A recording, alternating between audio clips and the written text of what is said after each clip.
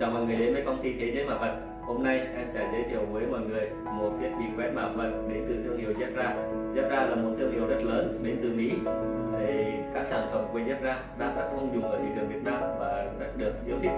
Thì lý do tại sao mà các sản phẩm của Zebra lại được yêu thích và ưa chuộng tại thị trường Việt Nam thì có một số lý do sau. Thứ nhất, về chất lượng sản phẩm, máy có độ bền cao và cũng như là tuổi thọ cao, tuổi thọ lớn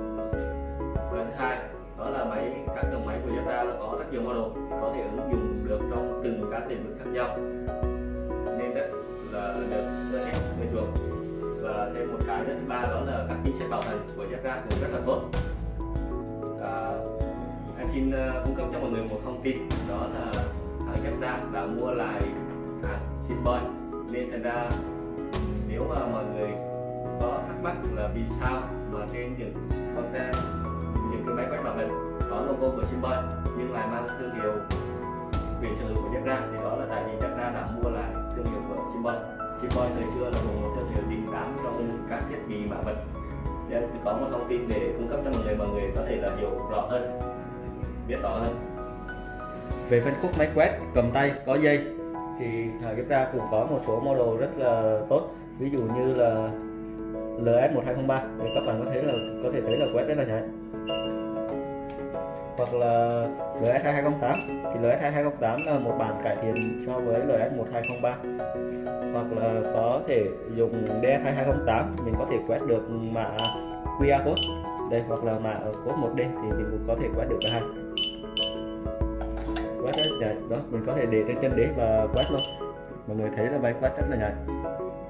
Ngoài ra thì chép ra cũng có một dòng máy quét để bàn có model là DS9208, nó có thể quét được mã 1D 2D thì mình chỉ cần là đặt ngay vị trí này và đưa mặt hàng vào, thì nó có thể quét. Đây là máy quét DS9208. Tiếp theo, trong lĩnh vực kho bãi hoặc là kiểm kê di động thì chép ra cũng có một số dòng máy quét không dây.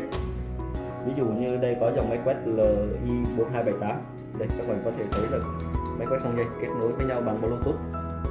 Mình có thể đây.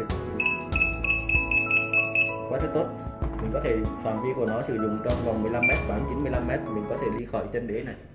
Cách xa được laptop mình trong vòng bán 95 mét. Thêm một điểm nhấn nổi bật của Jetta đó là dòng máy quét công nghiệp. Dòng máy này có thể là mình có thể đáp ứng được trong môi trường công nghiệp khắc nghiệt, có thể có độ rơi rất rất tốt. Trên 2 mét chống nước và các tiêu chuẩn khác. Nếu mọi người có cần thêm thông tin hoặc cần công ty thế giới và tư vấn thêm có thể liên hệ tới công ty với số hotline 1900 3438 hoặc truy cập theo đường link ở phía bên dưới. À, một lần nữa em xin cảm ơn tất cả mọi người và hẹn gặp lại mọi người ở những video tiếp theo.